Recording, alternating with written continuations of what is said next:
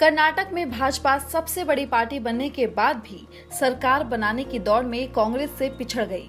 मंगलवार को रुझानों में काफ़ी देर तक भाजपा ही बहुमत के आसपास थी, लेकिन दोपहर के बाद वो 104 सीटों पर रुक गई।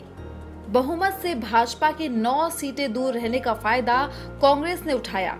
उसने गोवा, मेघालय का सबक याद रखा, जहाँ वह सबसे बड़ी पार्टी होने के बावजूद सरकार नहीं बना पाई थी।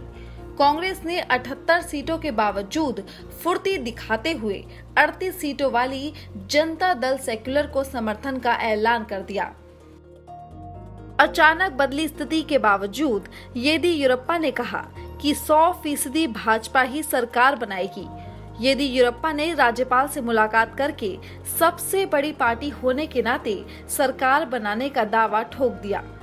इसके महज 15 मिनट बाद येदियुरप्पा और कुमार स्वामी ने भी सरकार बनाने का दावा पेश किया।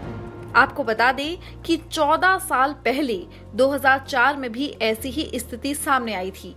तब भाजपा को उनासी कांग्रेस को पैंसठ और जेडीएस को अट्ठावन सीटें मिली थी।